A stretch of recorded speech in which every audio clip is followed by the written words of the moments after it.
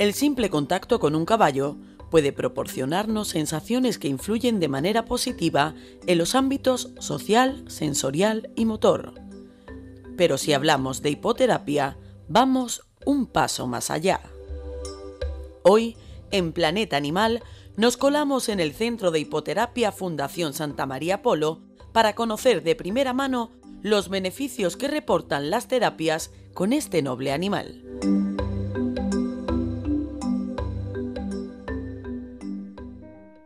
Bueno, Mari Carmen, Buenas tardes. ya llegué al Centro Hípico San Roque Club y me encantaría que me mostraras las instalaciones y nos contaras un poquito la historia y, bueno, cuándo empieza, cómo empieza y todas las cosas que se pueden hacer aquí, en este recinto. Pues, ¿vas a tener tiempo suficiente? Bueno, tenemos poquito, pero lo condensamos. Vamos a intentarlo. Sí. Pues mira, nosotros empezamos, la Fundación Santa María Polo se creó en 2008 Ujú. Y el centro de hipoterapia empezó en abril del 2009.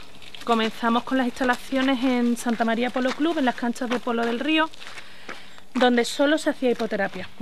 Era el único, la única actividad que podíamos realizar por el sitio en el que teníamos las instalaciones y por el tipo de instalaciones que teníamos. Y entonces trabajamos eh, con niños con discapacidad, tanto física, psíquica como sensorial, todo a través del caballo.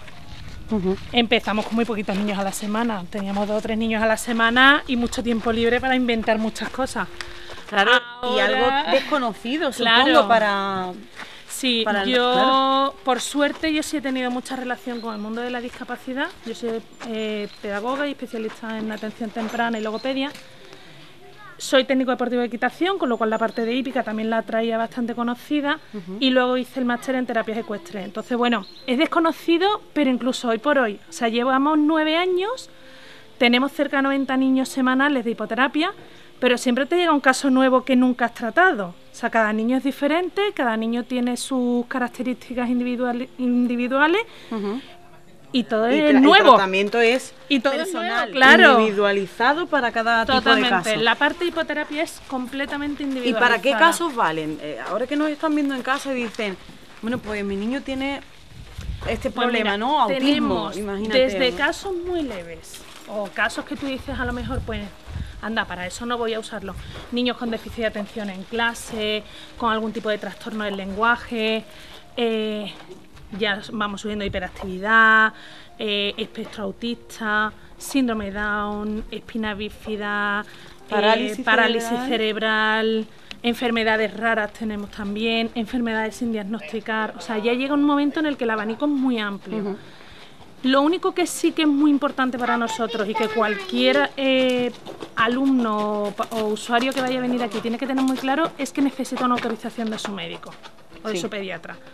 O sea, yo puedo saber lo que tú me cuentas como madre y Pero puedo saber lo que yo veo com- en el niño, pero yo no sé si a lo mejor tiene una lesión de espalda para la que le es contraproducente el caballo. Entonces eso lo sabe su médico que lo ha tratado desde que, que era chico. Entonces ahí sí es importante que los médicos estén un poquito de nuestra mano y nos vayan guiando. Y nos vayan diciendo, mira, sí, pues ahora es preferible esperar un poco, que el niño crezca, que veamos por dónde sale, y entonces ya nos lo planteamos. Y otros casos en los que te dicen, claro, por supuesto, con los ojos cerrados, lo que necesite. Y, y entonces ahí empezamos hace ya, pues, nueve años más o menos. Y hace seis años se quedaron vacías estas instalaciones en las que estamos, que están en, en el club de San Roque, en la urbanización San Roque Club. Y nos planteamos trasladarnos por dos razones. La hipoterapia es muy cara. Lo mires por donde lo mires, tú tienes a un solo niño, mínimo con dos personas, en muchas ocasiones con tres, mantenimiento de caballo, de instalaciones, alimentación, herraje, etcétera. Entonces eso encarece mucho la terapia. Y el precio de una terapia hipoterapia está valorada entre 40 y 60 euros por sesión. La fundación subvenciona este tipo de terapias y son a 10 euros la terapia, 40 euros mensuales pero claro, necesitamos recaudar fondos de alguna manera. Y la opción que nos planteamos fue eh, ampliar a lo que nos dedicamos, qué sabemos de caballo, pues vamos a ampliar la oferta que podemos dar. Y entonces nos trasladamos aquí, creamos el Club Hípico Solidario, damos clases de hípica, de iniciación desde niños chiquititos, chiquititos, hasta adultos, eh, clases de salto, doma, ride, completo, hacemos un poquito de todo. Y luego todo lo que se nos ocurre, todo lo que nos piden y lo que se nos lo que inventamos, ahí estamos. Eh, somos también, llevamos ya varios años haciendo un seminario en los cursos de verano de San Roque con la Universidad de Cádiz sobre iniciación en las terapias ecuestres. Empezamos ahora un experto universitario en equitación. tenemos un poquito de todo. Sí, tenemos un poquito de todo. Hoy nos vamos a centrar más en lo que es la hipoterapia para dar a conocer la labor tan importante que se hace y cómo el animal es capaz de reportar beneficios, ¿no? a, cualquier persona, pero sobre todo se nota en esas personas que tienen algún tipo de discapacidad. Eh, ¿En qué se notan los avances? O, porque supongo que eso será cuestión de tiempo, ¿no? Es cuestión de tiempo. Y yo siempre le digo a los padres, las terapias, o sea, la terapia, tanto la hipoterapia como una hidroterapia, cualquier terapia alternativa o cualquier eh, terapia que tú vayas a empezar con un niño, ninguna es una terapia mágica. O sea, tú vas a encontrar beneficios y con algunas a lo mejor te da la sensación de que encuentras beneficios más rápido que con otras, pero probablemente es la unión de todo lo que el niño lleva trabajando desde pequeño. Entonces, el que te traigan un niño hipoterapia no significa que puedas dejar otro tipo de terapias que estás trabajando de antes. Eso es un complemento. Es un complemento y entre todas intentamos ponernos de acuerdo y llevar al niño al mejor puerto posible. Entonces, Quizás lo más llamativo y lo que primero se nota es a nivel motórico. En niños en los que a lo mejor no, controlan bien su tronco, no tienen un buen control de cuello, eh, no mantienen una buena, eh, un buen equilibrio y demás, eso se nota muy rápido. Aunque ya se mantenga el equilibrio en el caballo, sea capaz de llevarlo un pelín sola y con eso ya me conformo de que pierda un poco el miedo, que tiene mucho miedo a mucho vértigo, a caerse, a, esto, al equilibrio, a que la muevan sin estar ella sujeta, porque ella siempre va agarrada a mí. En primer lugar, seguridad en sí mismo, luego mm, la psicomotricidad fina, la psicomotricidad motora, mejorarla, porque él pues es muy temoroso, le cuesta mucho, por ejemplo, escribir. Entonces, todo esto creo que lo podría mejorar.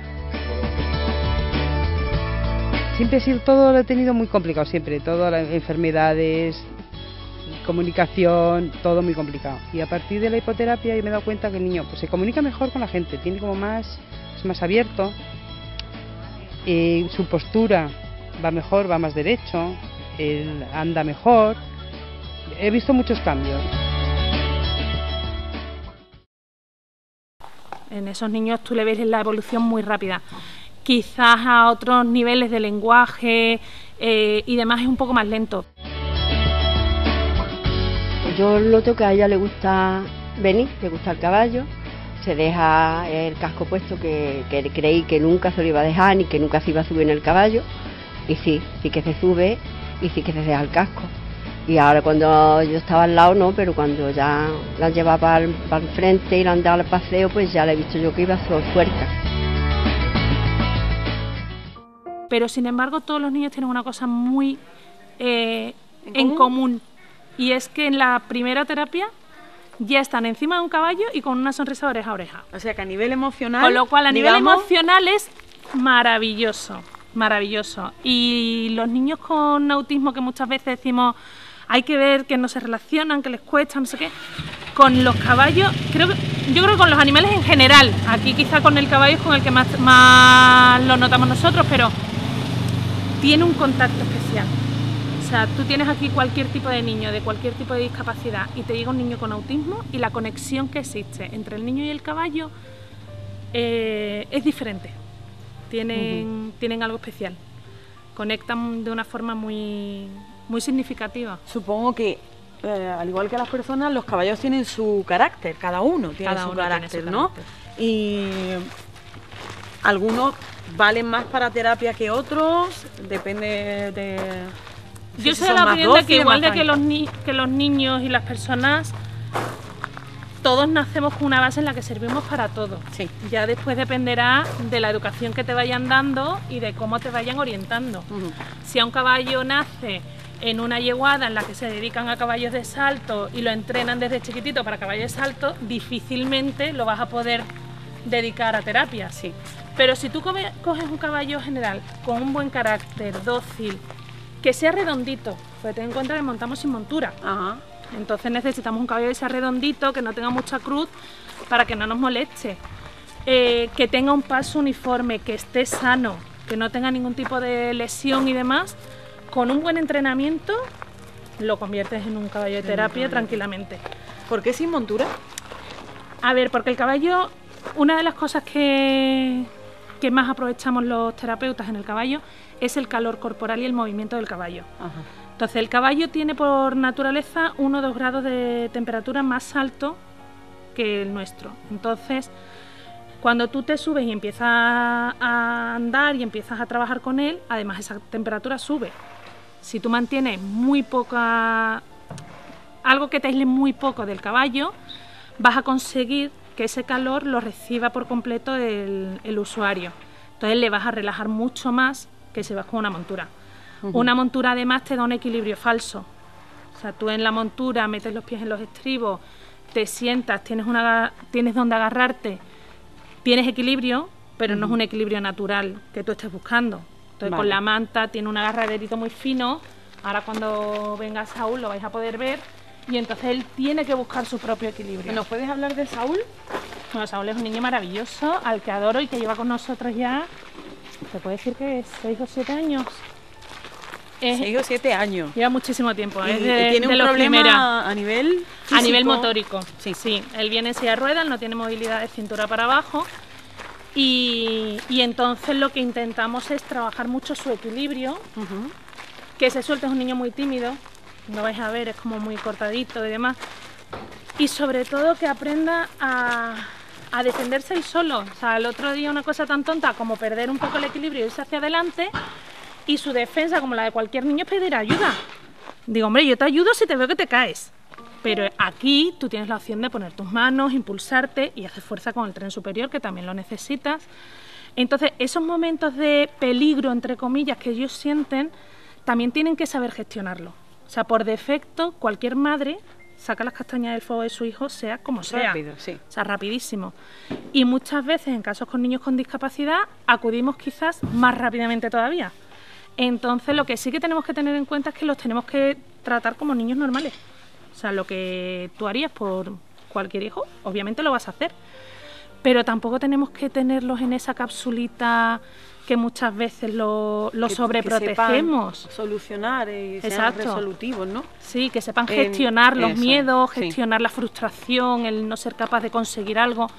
Bueno, es que cualquier niño se encuentra en esas circunstancias, no solo por tener una discapacidad, es que cualquier niño hoy en día en la escuela, en, en cualquier momento de su vida, se encuentra con una frustración pues de no ser capaz de aprobar un examen, de que un compañero en este momento me está tratando peor, no sé qué, y todo eso tienen que ser capaces de solucionarlo ellos. Y se tienen que enfrentar a eso. Entonces también nuestro trabajo quizás al estar con animales te ayuda un poquito más a- en ese aspecto porque el niño sí se encuentra en un peligro físico o por lo menos él cree que está en ese peligro porque cuando se desequilibra siente que se va a caer. Entonces ahí tú estás trabajando mucho la autoestima, el decir, oye, estás ahí, pero Su seguridad, claro, sí. tú lo tienes que solucionar y una vez que lo solucionas te vas a sentir mucho más tranquilo, con mucha más confianza y con una seguridad que en otras ocasiones a lo mejor no las tienes y en otras circunstancias no te las vas a encontrar. ¿En qué consiste una terapia, por ejemplo? Pues ¿Se monta mira, el niño en el caballo? Normalmente depende de cada caso. Eh, nosotros hace tiempo empezamos, pues nosotros tenemos una pequeña sala de fisio y hacíamos 10 minutos de trabajo en sala para calentamiento y demás, montábamos a caballo y luego otros 5 o 10 minutos de, de- de relajación.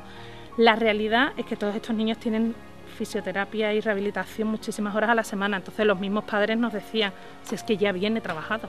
O sea, que que quiero es- realmente tener en cuenta que tenemos una- un clima maravilloso. Sí. O sea, aquí es raro el día que llueve, pero además el, el ambiente en el que te estás moviendo de naturaleza con otros animales, Damos muchos paseos por la urbanización, con lo cual ven a vecinos, herradores, jardineros que les dan conversación y demás. Sí.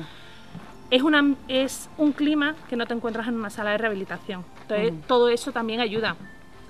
Y bueno, nosotros aprovechamos el, el que vengan todos con, con los padres y demás.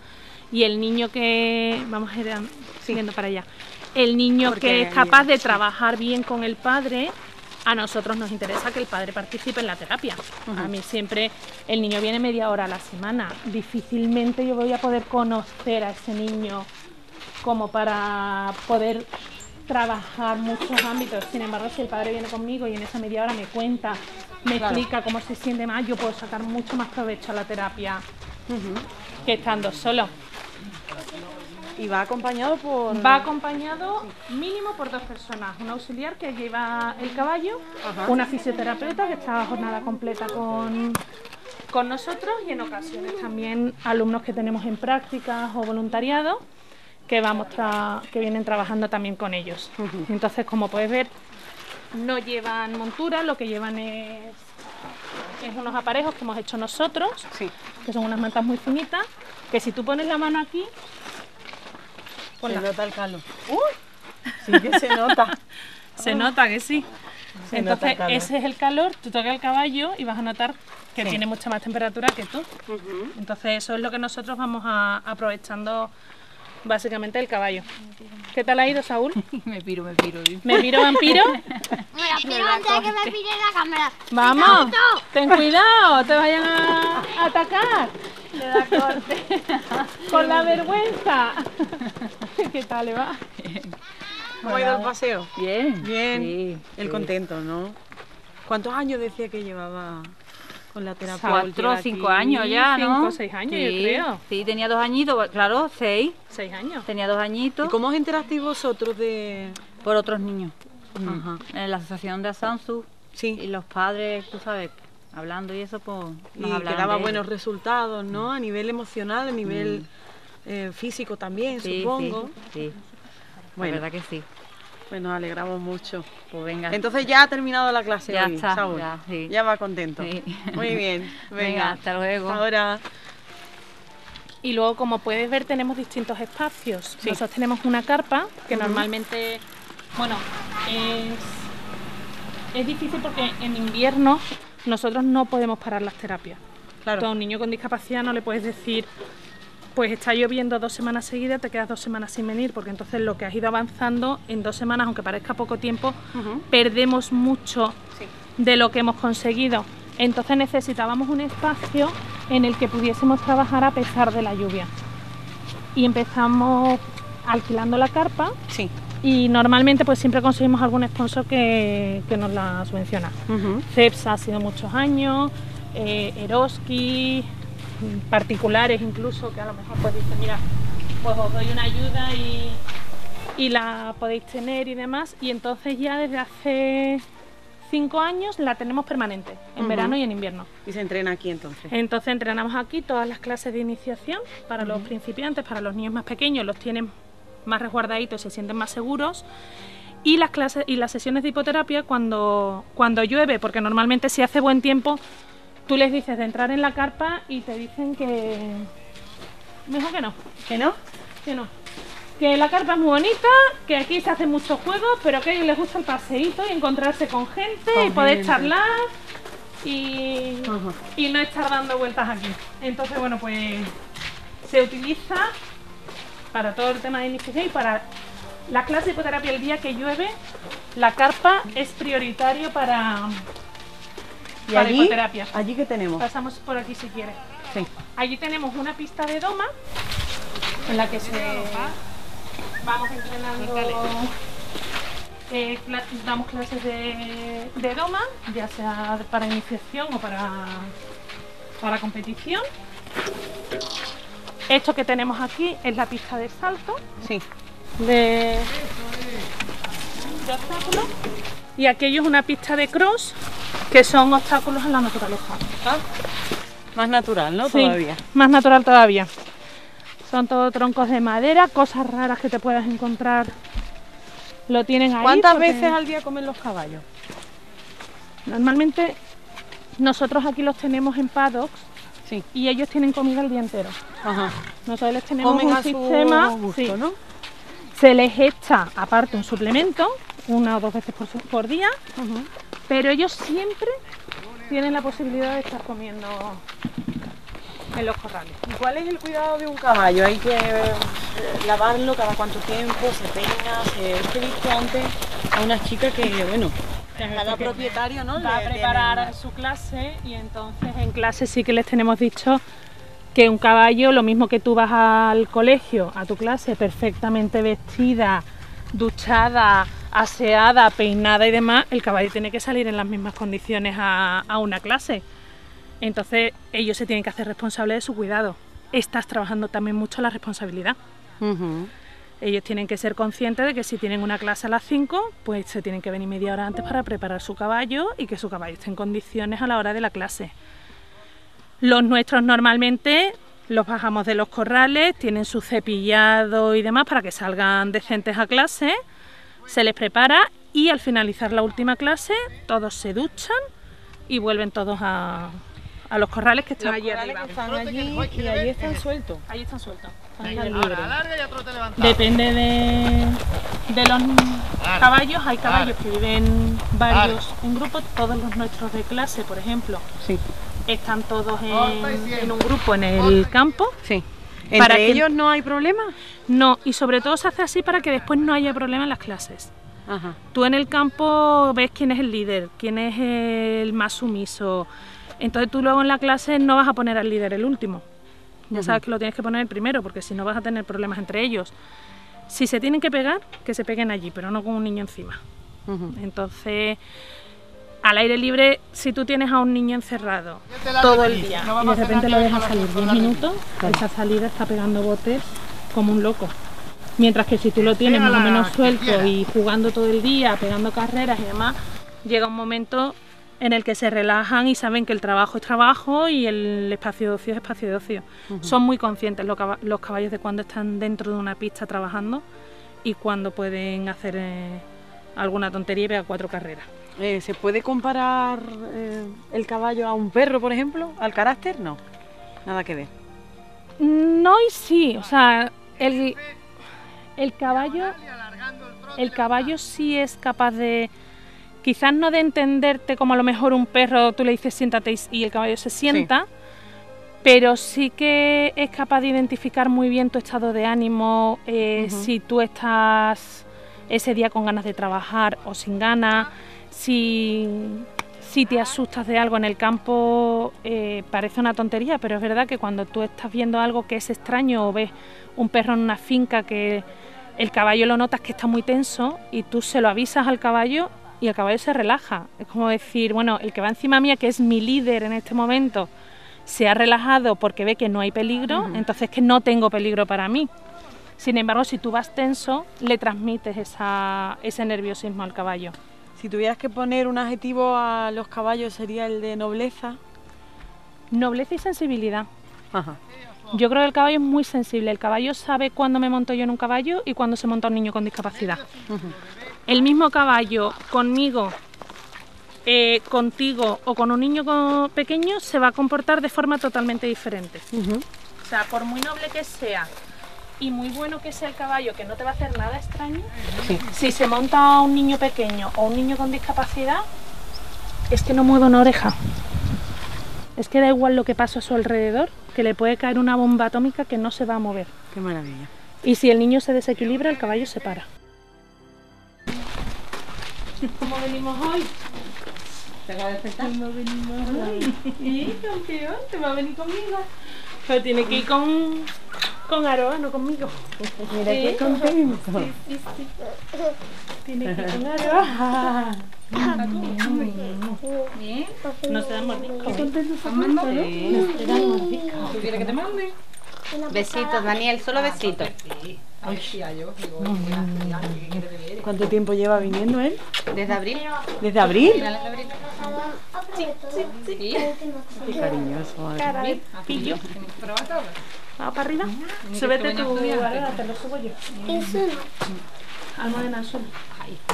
Bájate, por favor. Anda, ¿vamos arriba? Poca vergüenza. Bueno, son pequeñitos, van acompañados. claro. Súper, súper, súper. Mira, Que no me mire con esa cara, que te va, que hoy no voy yo contigo. Pero ten cuidado con el chupica porque si se le cae, se le va a poner a y no se te preocupes. Sí, que ya veré yo la nueva Y adiós. Anda. Y hola. Y adiós.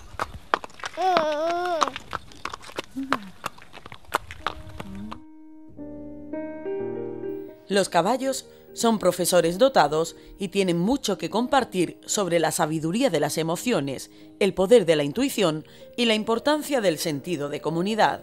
Es por esto que se identifican con su dueño, participando de sus sentimientos y adivinando sus intentos a la más leve indicación. El caballo obedece con entera abnegación y lealtad.